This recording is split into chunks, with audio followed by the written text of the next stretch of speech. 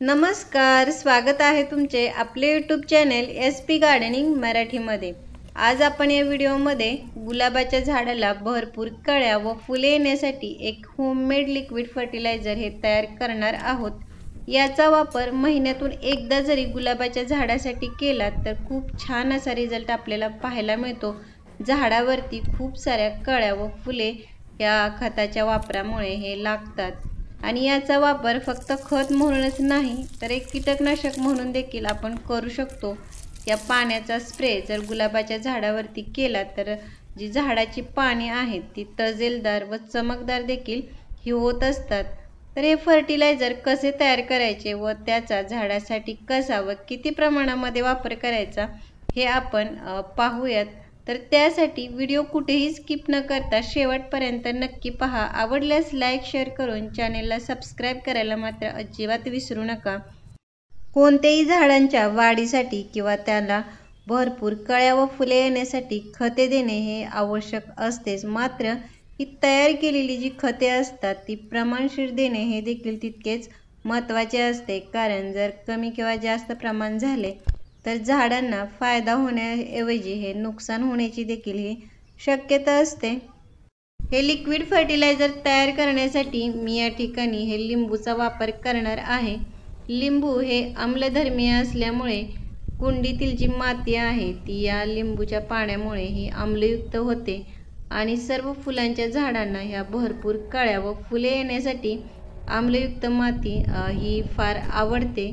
तर या लिंबूचा वापर आपण खत तयार करण्यासाठी कसा व किती प्रमाणामध्ये करायचा हे आपण पुढे पाहणार आहोत. गुलाबाच्या झाडावरची जी पूर्ण उमललेली किंवा सुकलेली फुले असतात ती अशा प्रकारे वेळोवेळी कट केल्यामुळे आपल्याला त्याचा दोन प्रकारे हा फायदा होतो. एक म्हणजे ही फुले कट केल्यानंतर त्या फांदीवरती आणखी नवीन कळ्या व फुले ही येत राहतात आणि जी सुकलेली फुले असतात त्याच्या पाकळ्या किंवा काही जी पाने असतात त्याचा खत म्हणून देखील खूप चांगला उपयोग होतो. तर त्या पाकळ्यांचा खत बनवण्यासाठी वापर कसा करायचा?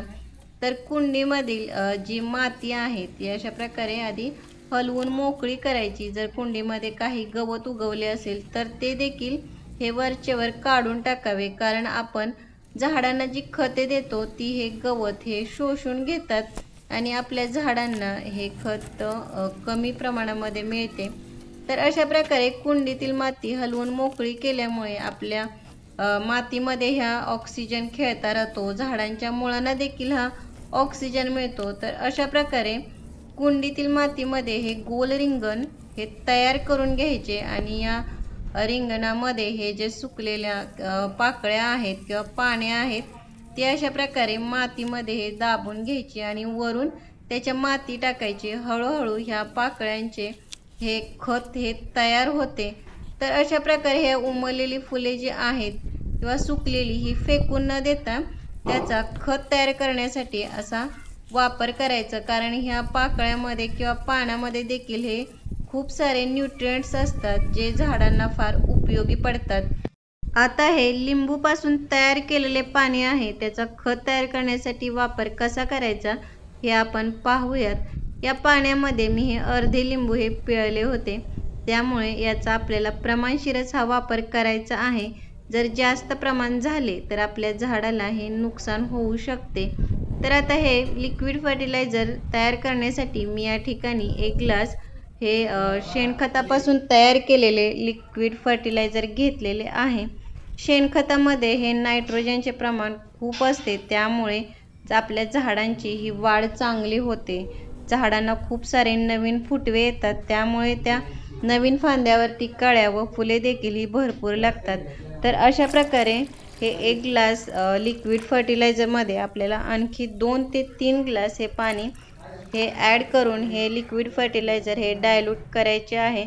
आणि या शेणखतापासून तयार केलेल्या खतामध्ये आपल्याला ह्या लिंबाच्या जे पाणी आहे ते फक्त एक चमचाच वापरायचं आहे. जास्ती वापरायचं नाही कारण हे आपण हे त्याच्यामध्ये रस ॲड केला होता. हे लिंबाच्या सालीपासून हे तयार केलेले नाही. त्यामुळे हे थोडे जास्ती स्ट्रॉंग असल्यामुळे आपल्याला त्याचा वापर हा फक्त एक चमचाच करायचा आहे.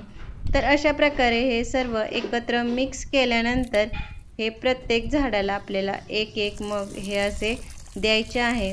तर हे खत आपण महिन्यातून एकदा जरी दिलेत तरी गुलाब मोगरा यासारख्या सर्व फुलांच्या झाडांनाही खूप सारी फुले लागतात. तर कसा वाटला व्हिडिओ मला कमेंट बॉक्समध्ये नक्की सांगा. भेटूयात पुढील व्हिडिओमध्ये तोपर्यंत बाय.